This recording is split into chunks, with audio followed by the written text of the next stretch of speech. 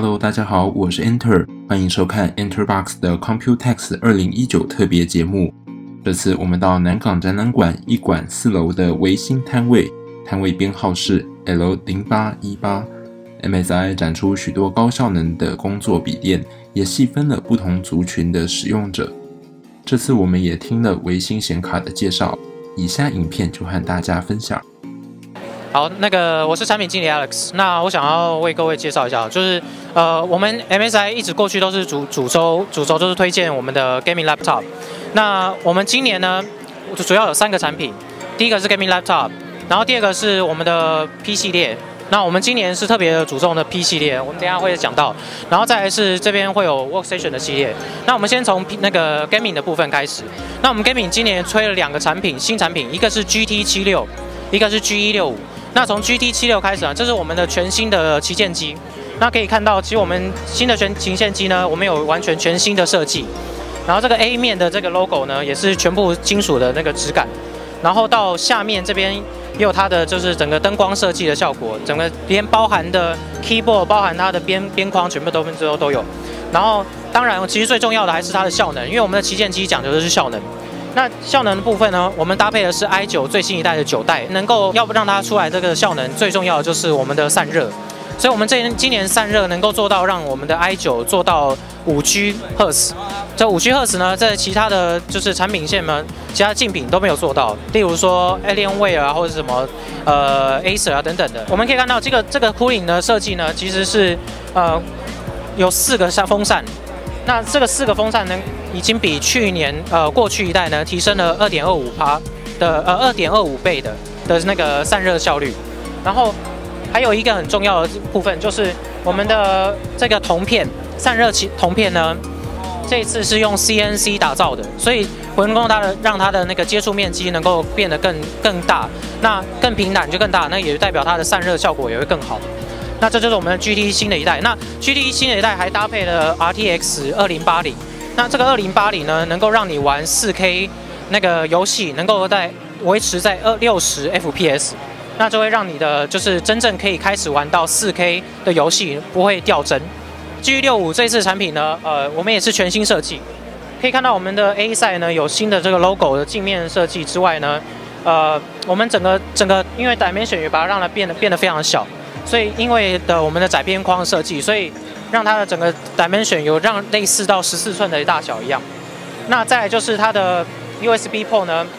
一样是有它的 lighting 的部分，而且这次我们面板搭配的是两百四十赫兹的 panel，好，两百四十赫兹 panel。所以如果你今天 RTX 游戏，呃，你原本原本你用 GTX 玩的时候呢，你没办法让你的游戏超过一百四十赫兹。那你今天啊用了 RTX 的的效能，新的 Turing 架构呢，让你能够超过一四四赫兹到两百多。那这样两百多，你一定要势必要用两百赫四十赫兹的 panel 才有它的价值，嗯。那这就是 Gaming 的新的系列。好，那我们再来介绍的是 P 系列。那我们从去年的时候呢，就已经有在针对 P 系列去做呃特别的强调，也就是说我们 P 系列强打的是 Creator 系列。呃，那 Creator 呢，主要就是我们要出一个能够帮助这些创作者，不管是他是 2D 的，还影片编辑的，还是呃影像编辑的那些人，能够让他们有一个很好的工具，让他们快速的编辑、快速编修。那这个东西。这个产品呢，我们主要的强调的是它有一个简洁的设计，然后再来就是它的效能要非常的好。例如说，我们现在有搭配的是第九代的 i 九，可以说要上到第九代 i 九，然后甚至是它有搭配到 RT 叉的新的 graphic card，像说它是这边有搭配到二零七零的部分，那么 SQ，那。我想，对于 creator 他们在意的是，他们有时候要去携带带出去，然后马上编修，所以我们针对 battery life 也特别去做放了大电大尺寸的电池，所以我们可以看到这两台 P 六五跟 P 七五，我们都搭配了可以到八小时的续航力的电池。然后再来一点很重要的就是，我们有针对 creator 的部分去做软体上的优化。这个是我们的一个 creator center 里面的，这个是一个 control center。那 Control Center 里面呢，我们有一个叫做 Creator Mode 的这个软体机制。这个 Creator Mode 呢，我们只要一键的就可以点开，就是这边可以看到 On Off，这样子按下去呢，就可以针对 CPU、针对 GPU 还有 Memory 去做优化，甚至是直及时的直接让让你的 storage 去做 clean up 的动作，所以它会针对不同的软体，例如说 Premiere，例如 Photoshop 等等这些 2D 的使用者，或者是他们影片影片编辑或是影像编辑的使用者，他们都可以一键的去做优化。所以我们不管是在硬体上面针对了 Creator 优化，也有针对软体部分去做强调。这就是我们这次在 P 系列，呃，特别去强调。所以 P 的这个六五七五呢，是针对呃比较特别高效一点的使用者。那我们还有出 PS 六三、PS 四二，那就针对他们就是在更 light，就是更轻，呃，没有那么需要那么复杂的运算的的使用者，他们就可以选择到 PS 六三或四二。好，那接下来要介绍的是 Workstation 部分。那其实 MSI 在 Gaming 耕耘了，哎，不知道十几二十年了吧？那我觉得重点是我们也要强调一下 Workstation。其实我们耕耘了最少有五年以上。那沃水冷其实要耕耘的话比较不容易，就是它是需要像说 ISV 认证，它需要有很多 B to B 的 customer，所以这部分的话，其实 MSI 耕耘上面其实已经有一定的成绩了。那今年我们推出了一个新的产品，就是 WS 六五七五。呃，当然我们还有其他产品，不过我们今天特别强调一下轻薄系列，因为 MSI 在 cooling 的部分做的特别好，所以我们在高效轻薄上面就有特别大的优势。像这今年我们有十七寸、十十五呃十五寸的这两台，那我们要强调的是，今年搭配了除了第九代的 i 九之外呢，还有我们的新的 RTX 五千这个新的 Tooling 架构的 Graphic Card，呃，是 Quadro 的部分。那当然，Quadro 大家都知道是用在于像说是比较 professional 的 user，所以跟 gamer 呢，他们在意的东西不一样。professional user 呢，他们在意的是他们的工作效率，然后不间断的工作，然后能够不会突然的 crash，突然的宕机等等。那我想重点就是我们能够维维持一个维呃良好的效能，又有好的散热。那散热就是一直都是维新的优势。那效能部分呢，RTX 这次五千。我们可以看到，其实 NVIDIA 也在强调的是 Creator Studio 这部分。Creator Studio 呢，其实就是针对了 Creator 部分 Professional 的这些 User 呢去做 Driver 的优化。那针对 Driver 优化，我们也可以看到这个是一个 Maya，我们这个 Demo 是一个 Maya。那 Maya 呢，它是可以用 CPU 去做即时渲染，也可以用 GPU 去做即时渲染。那其实我们可以看到，Maya 如果用 CPU 的即时渲染的时候呢，那你可以看到 CPU 的渲即时渲染是非常的慢的。这些这时候呢，还在停在零零趴的时候，对，它其实是有动的，但是它的速度很慢。好，这时候到两趴了。可是如果我今天这时候切换到 GPU，它是用库打扣去做运算的，这时候它的速度就会明显的有感受到差异。这就是呃，graphic 在 Quadro 的 graphic card 上面的一个对于 professional 真实的呃效效益，也就是说，他们可以及时的可以感受到这些。呃，即时渲染，它就不用到呃输出到 rendering 长时间的 rendering 之后，才可以看到它的最后的那个他们呃去做设计的一个结果。那所以呃，维新的工作站呢，强调了高效能。我们有 i9，甚至有 Zeon CPU 搭配 ECC memory，然后我们有搭配的最新最高阶的 RTX 五千，然后它轻薄，它只有十七点九 mm，然后一点八的重量，一点八公斤。那另外是它的呃 battery life，也就是它的电池续航力也到了八小时，所以它是一个轻薄好携带，然后并且它的电池续航力长，然后又是一个高效能的工作站，所以呃如果是一个常常工作要需要到出差到各地跟着客户 demo，它需要一个高效的那个工作呃工作站的使用者，它就非常的适合这台。目前您手边呃我们手边看到这张。哦，是维新显示卡，呃，目前最高阶的，呃，二零八零 Ti，哦，Lightning。那我想市场上很多人都会把它习惯称为闪电，哦，闪电版的显示卡。那它这个闪电卡的话，它目前是我们算旗舰款，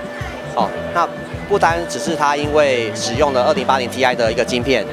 哦，那我们在所有的外形啊，还有灯光，还有一些其他超频功能上面都花了很多的心思，哦，那如您所看到。它在灯光效果上面的话，一直都是非常出色的哦。它透过 LED 和风扇哦，整个转速的不同，它可以呈现出很多不一样的呃风貌哦。有七页、十四页、二十一页的这些呃扇叶不同的变化哦。那还有各种像是 RGB 哦，不一些很呃很时尚、很流行的一些灯光效果好，那都可以让玩家自行来呃设定，然后选择一个比较喜欢的一些模式。那此外，它的外形的话，我们是采用了一个比较高价的碳纤维的一个材质。那它不仅是在呃外观上面有一个比较高质感的一个突出，那更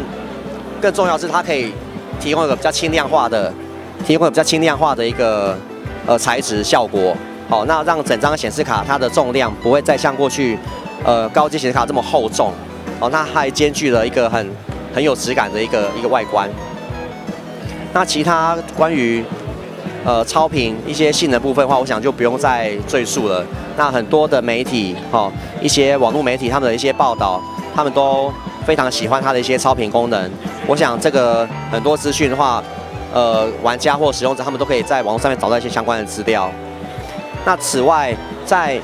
呃二零八零的部分，呃，我们也提供了一个目前比较常规的一个扇风扇的一个产品。它同样是提供的一些比较炫目哦、绚烂的一个灯光的效果，然后再搭配一个二零八零的一个晶片，呃，一个很好的游戏效能。那它不管是在运行各种游戏，甚至是一些工作室哦，他们想要拿来做一些，比如说像专业设计啦这些专业的应用程式来讲话，都是非常足够的。有一些使用者他们对于呃，灯光效果不是那么的有需求，我灯光效果可能不要这么绚烂，我想只要保留一部分就好了。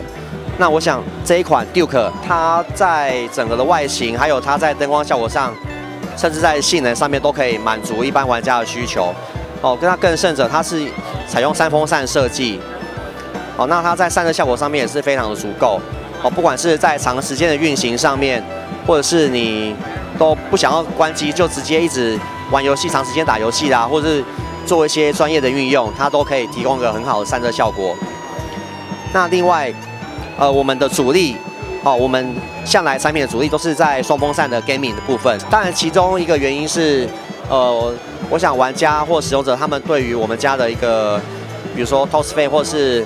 呃 Twin Forcer 这个散热模组，都会有一个既定的印象，都是觉得哎，维新的这个双风扇的产品非常好啊。那而且它的长度又比较符合目前大部分玩家他们的机壳的现况，所以这一款一直都是我们的热销款。好，再加上它是双十公分，哦，两个二两个十公分的风扇，它的一个设计，所以它在散热效果上，在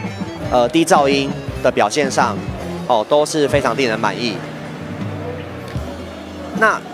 当然有一些玩家他们觉得，哎，我就是想要比较低调。哦，我就是想要比较一些，呃，我不要那么多 LED 灯在上面，我不要一些什么额外 RGB 效果。他们可以选择我们的呃 Armor 系列，哦 Armor 系列，或者是呃 Ventus 系列。哦，Armor 系列的话，它承袭了我们前一代哦，就是黑白配色的的一个效果。那当然，它上面的这个 RGB 它可以任意的开关。好，如果您呃玩家他们不喜欢把它显示出来的话，他可以选择用软体把它关掉。它的设计是比较简洁一点的，可是它该有的都还是有哦，比如说它的呃扇叶设计啦，它的噪音啊低噪音。那同样我们也是用了二零七零哦这个晶片组哦去做的，所以它在呃不管是在效能、游戏效能上面的话。都会一个令人满意的效果。比较多人关注的会是这一款 Ventus，它打破了现在大家都是比较在追求 RGB 效果的一个状况。哦，它完全没有任何灯光，它是采用比较简单而且比较利落的线条去设计。那再来，除了外观之外的话，它同样也保留了呃我们在噪音在效能上面的一些坚持。哦，即使它没有一个很吸睛的外表，可是像一般的专业的工作，呃，比如说呃专业的一些绘图使用者，哈，一些 creator 啊，或是 influencer，哦，YouTuber，他们这些比较从事影像设计的，哈，影像剪辑的，他们都还蛮喜欢这一款的，因为他们不太需要这些额外的 RGB 灯光效果的一些产品，哦，那他们对于这款的评价也是相当的高，就是哎，我可以很。低调的，然后去使用这一款产品，那它也提供了一个很足够的效能去做一些影音的剪辑，所以这款是相当符合他们的需求。好，那从高阶到呃中阶这样子一系列，甚至是到现在的一六一六系列的话，我们从高到低，好，那从有 RGB 到没有 RGB 的全系列产品都有。那这个一整完整的一个产品的呃规划的话，是可以相当符合目前市场上的期待。哎，谢谢。